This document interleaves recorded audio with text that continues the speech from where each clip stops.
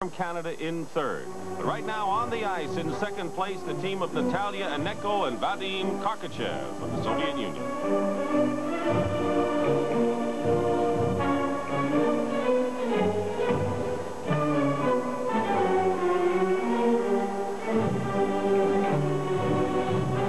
You'll notice how the lifts cannot be above the waist and they cannot have too many carry lifts in the free dance. This distinguishes the free dance from the pairs.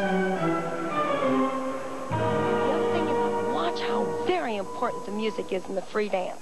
You, the girl really has to express to the audience what they are trying to do on the ice.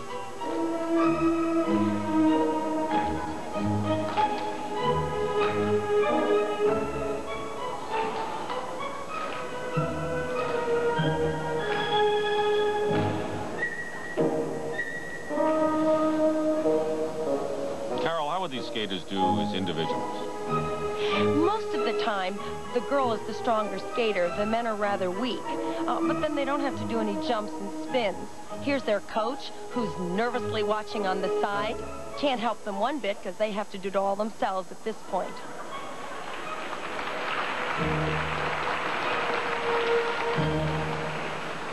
Their music is excellent, and they're interpreting it beautifully.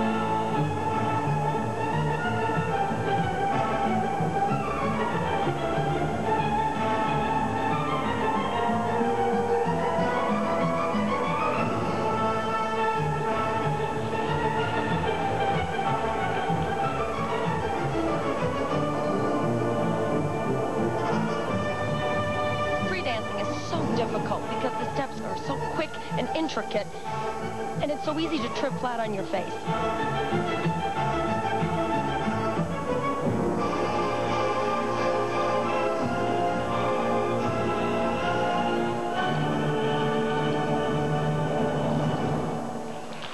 The Soviet dance team of Natalia Annenko and Vadim Karkatchev. Let's see a portion of their routine once more. They are together, and how beautifully they perform on the ice, and how expressive she is.